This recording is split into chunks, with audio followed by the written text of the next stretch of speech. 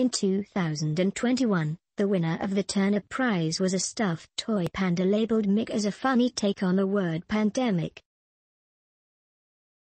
The award is given to the person who created a bad piece of artwork by putting in the least amount of effort. The shortlist for this year's award has now been announced and some have chosen to pay tribute to Queen Elizabeth's death and the conflict in Ukraine. According to organizer Trevor Prideaux from the New Inn in Wedmore, Somerset, there were 69 entries this year.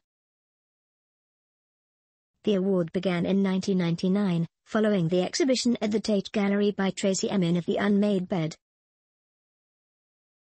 Last year, there were 96 entries and the winner clearly had what it takes to be recognized in modern art circles and will be remembered in art history for no time at all.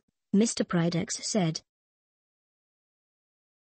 He described the entries from people who have created something that they perceive to be crap art using the least amount of effort possible. An RIP Elizabeth II ND piece of artwork is one of the 69 entries and is a torn second-class stamp which was created by Charlie King.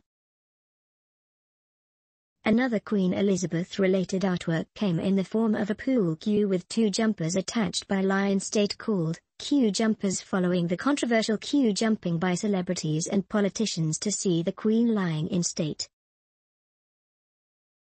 Another finalist piece is a tribute to the conflict in Ukraine entitled Ukraine which is a yellow crane carrying a sprig of yew created by Ivor Bolshoy Mr. Prideaux said, the world-famous Turnip Prize has been running for 24 years. This year we have received 69 entries.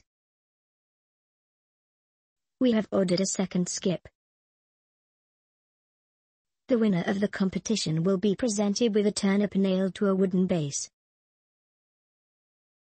The winner of the 2022 Turnip Prize will be announced online by the Inn on December 7.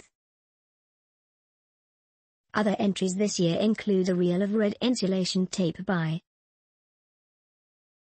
GIF and X files which is made up of two files crossed over each other.